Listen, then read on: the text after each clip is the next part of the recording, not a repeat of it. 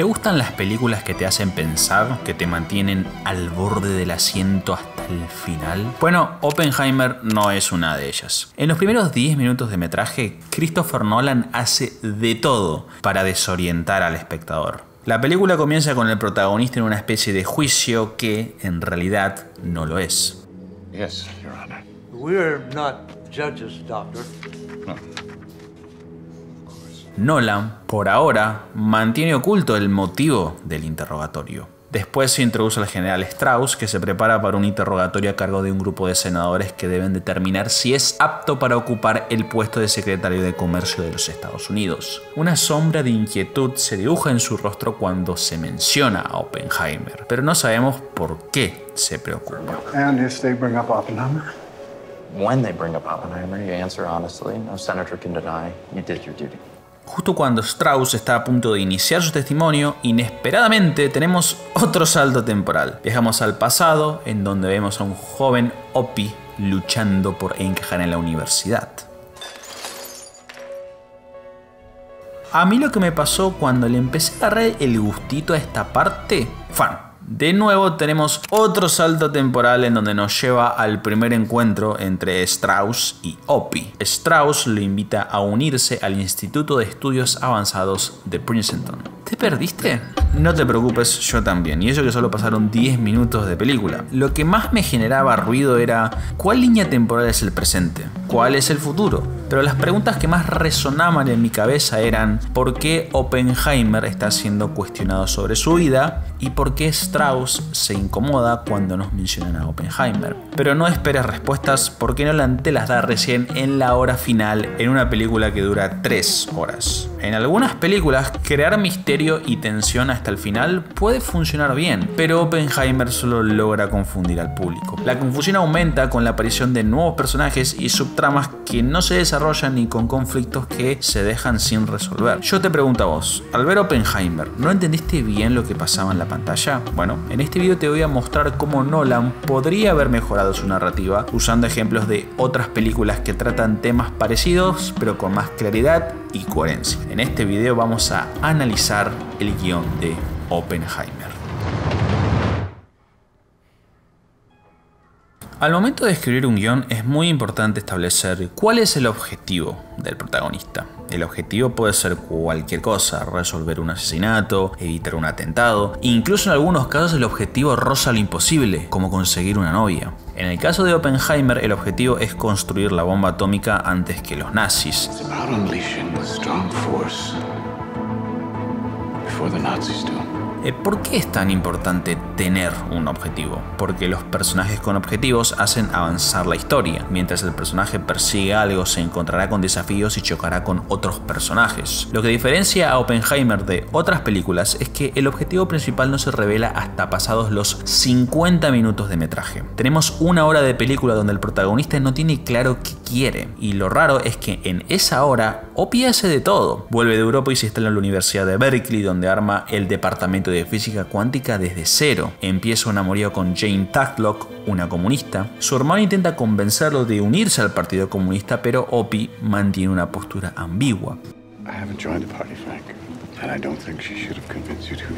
Sin embargo, eso no le impide intentar construir un sindicato en la universidad. Se distancia de Jane y conoce a Kitty, una mujer casada a la que le terminas proponiendo matrimonio. Por presión de un colega, déjale de lado la idea del sindicato y ahí recién aparece el tema de la bomba. ¿Por qué toda esta secuencia es confusa? O sea, más allá de los saltos temporales, me quiero centrar en, en lo que termina pasando en verdad en la vida de Opie. Esto pasa porque el protagonista deambula por la historia sin un rumbo claro, saltando de escena en escena sin comprender cuál es su objetivo final. ¿Cómo se puede resolver este problema? Bueno, se puede resolver con una herramienta narrativa muy valiosa, el mini objetivo.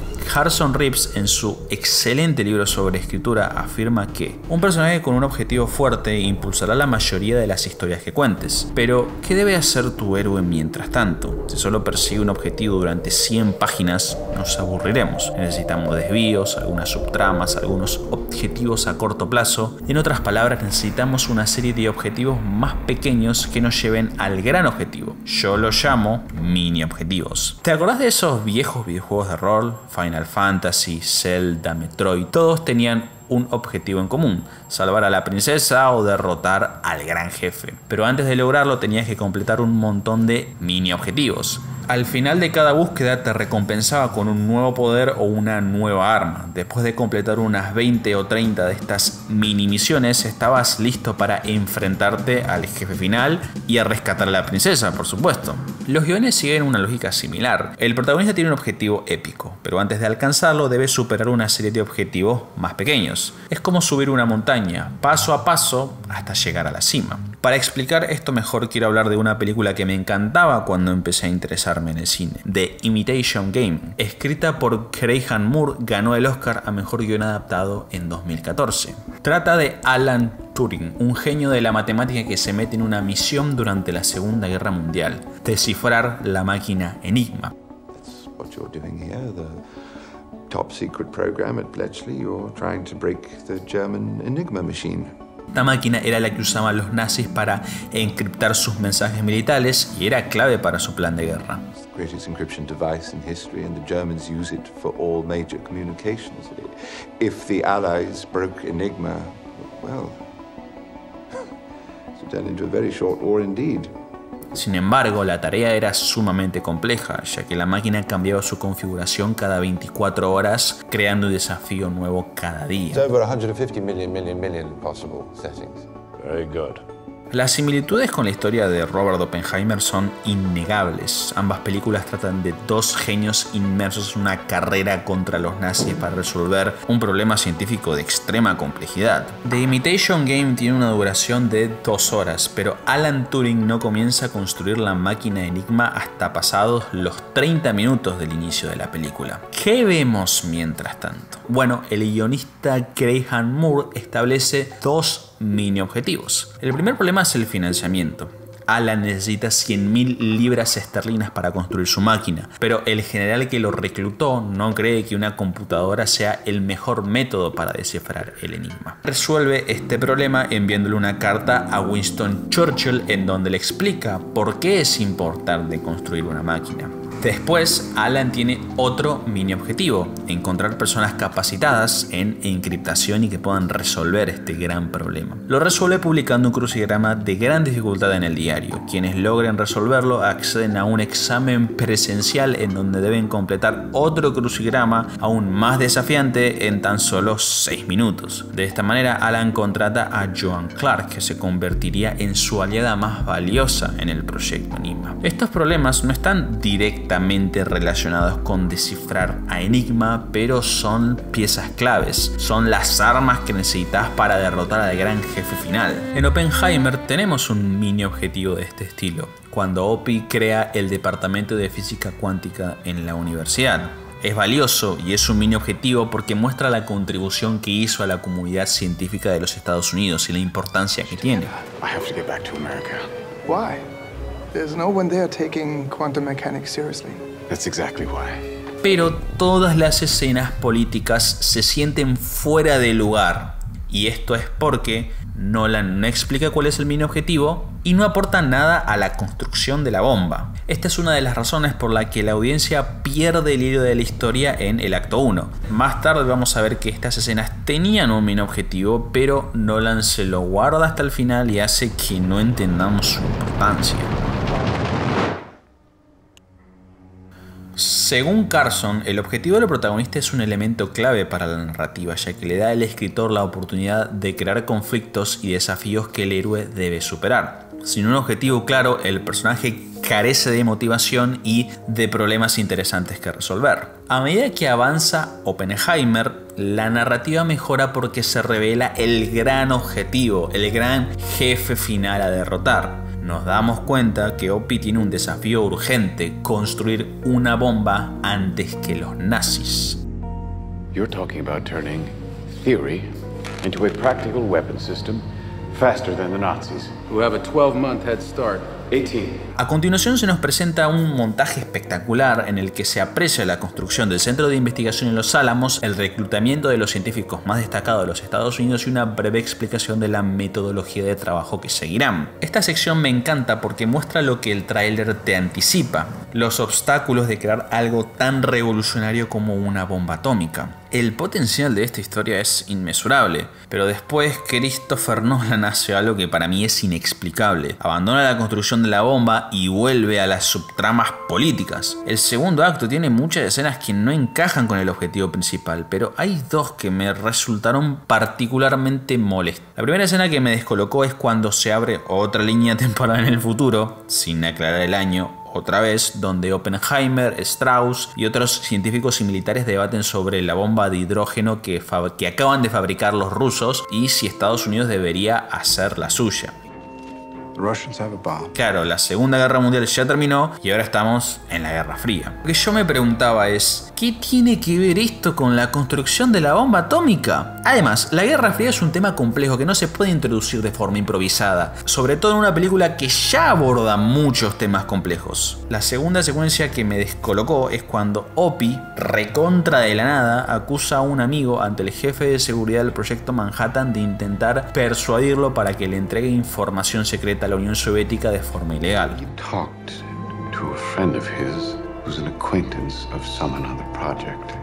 De nuevo, una escena totalmente arbitraria que poca relación tiene que ver con la construcción de la bomba. Nolan pudo haber evitado este error si miraba lo que hacían los guionistas de Ford contra Ferrari.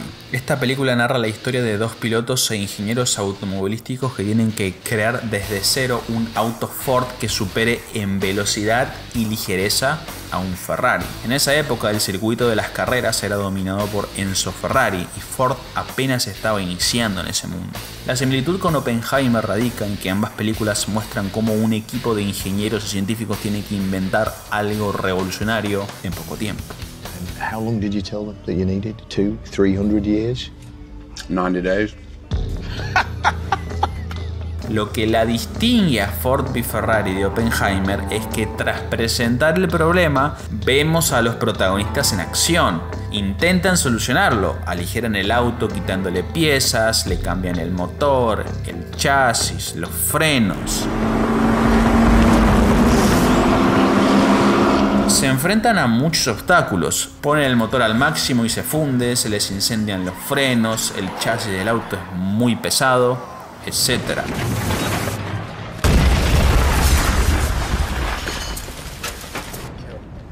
Pero tratan de solucionarlo e intentan de nuevo. Me hubiera gustado ver algo así en Oppenheimer. Por ejemplo, algo que pudo haber mostrado Nolan. Del proyecto Manhattan salieron dos bombas, Little Boy y Fatman, cada una con su propia ciencia e ingeniería que no voy a explicar porque no es el tema del video. Lo que no saben es que antes intentaron construir una bomba de plutonio que se llamaba Thin Man, que tenía un diseño de implosión muy diferente, pero esa bomba resultó un fracaso y eso hizo que OPI priorice la construcción de Fat Man y Little Boy.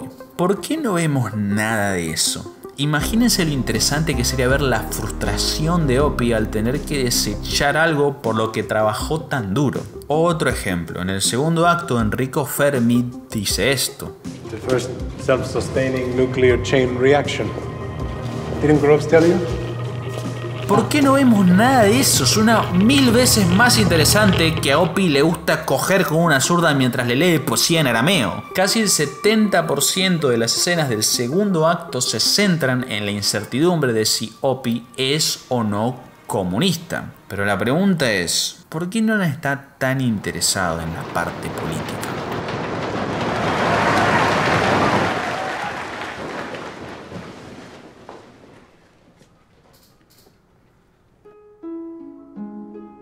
Al llegar al tercer acto nos enteramos de que Opie está siendo interrogado por un comité que evalúa si le quita o no su permiso de seguridad. Si se lo revocan, su reputación va a quedar por el piso. Además, se revela que el responsable de este comité es Strauss, quien le guarda rencor a Opie porque lo humilló en una audiencia pública. Lo que le reprochan a Opie es su cercanía con movimientos comunistas. J. Robert Oppenheimer is an agent of the Soviet Union. Esta información es muy importante porque le da a las escenas políticas un objetivo. Opie no quiere perder su credibilidad. You'll lose your job. You will lose your reputation. We'll lose our house. Robert, we have to fight. Por eso Oppenheimer es mejor la segunda vez que la mirás, ya que entendés el riesgo que hay que se llega a la conclusión de que Opie es zurdito, más teniendo en cuenta que nunca define del todo su postura. And you sound uncommitted. I'm committed to thinking freely about how to improve our world.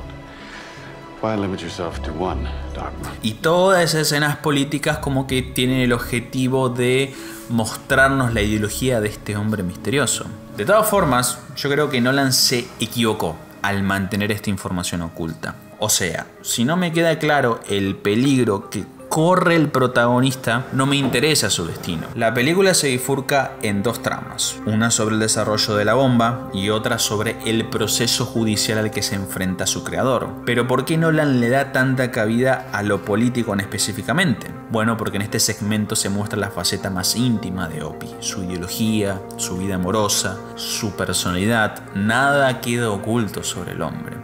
Pero para mí estas dos historias son incompatibles. Son dinámicas muy distintas. Una solución a esto es priorizar una línea argumental por encima de la otra. La trama política habría funcionado mejor si Nolan lo hubiera dosificado. Con solo unas pocas escenas del juicio es suficiente para inyectar la intimidad narrativa que buscaba. Si usamos de ejemplo a la sal, si le pones un kilo, cualquier cosa que comas se vuelve asquerosa. ¿Qué Charlie? ¿Ahora sos experto en cocina? ¿Qué onda? Bueno, ¿a qué voy con esto? Por ejemplo, Alan Turing era homosexual y en los años 50 la policía lo encontró con otro hombre. Lo condenaron por indecencia y lo sometieron a castración química. Eso lo deprimió tanto que se quitó la vida. La historia es incluso más trágica que la de Oppenheimer. The Imitation Game muestra la homosexualidad de Alan y su condena. Sin embargo, esto es lo curioso. El escritor Graham Moore lo hace con unas pocas escenas. La mayor parte de la película, el 75%, se dedica a la creación de la máquina y el resto, el 25%, a la vida íntima de Alan. Con este diseño evitas que esa subtrama se coma a la principal en cuanto a relevancia. En la escritura de guiones y en la vida, a veces menos es más. A Nolan le importaba la política, no la bomba. Su película hubiese sido mejor si ponía el foco principal en el juicio desde el inicio. Es más, la parte final del juicio a mí me encantó, porque está todo más claro y se entiende qué se está buscando. Si hubiera hecho eso no habría confundido al público, pero supongo que un juicio falso no vende tantas entradas de cine como la detonación de una bomba.